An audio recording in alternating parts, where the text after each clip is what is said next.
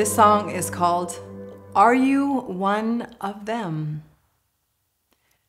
It was written right after my return from a visit to New Vrindavan, West Virginia, with whom I had believed was my spiritual master, Radhanath Swami.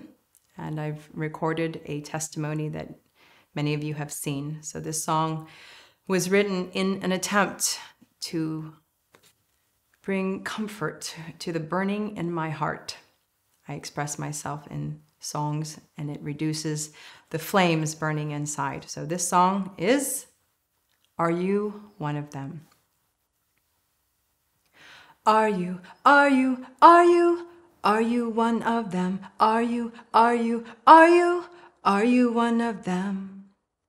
In the silence that followed, the screams of the children was written the tag on the cloth that you are made of. This picture gets clearer the more time that passes.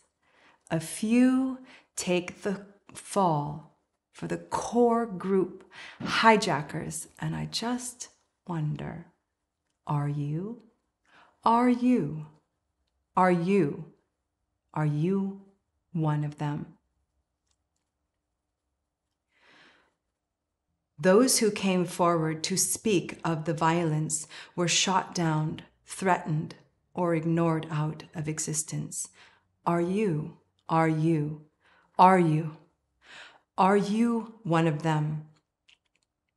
I finally found the courage to trust you, no small thing, and yet you question, demand proof, and speak well of those demons. Therefore, I can't help but wonder are you, are you, are you, are you one of them?